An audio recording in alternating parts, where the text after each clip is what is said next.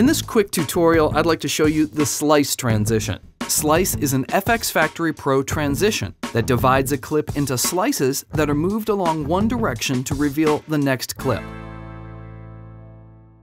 I'm in After Effects, but this transition works in Final Cut Pro, Final Cut Express, and Motion as well. It's located in FxFactory Pro Transitions. I'll drop it on my first clip. In the last second of the clip, I'll animate the transition progress parameter from 0 to 100%.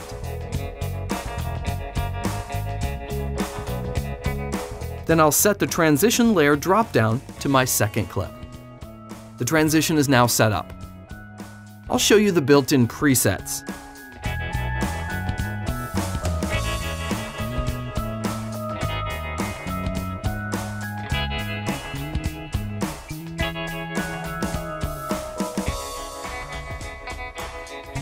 I like this preset called Falling Down. The first thing I'm going to do is change the direction from down to left to make this transition move horizontally, which works better visually for my footage. The slice size parameter is set to 3, which is what I want, but if I scrub this value, you can see how some of the earlier presets were made with many more slices.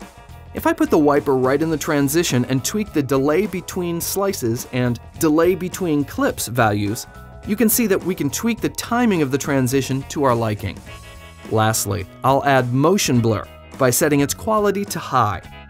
This is really blurry, so I'll drop the shutter angle value down lower until the blur is how I'd like it.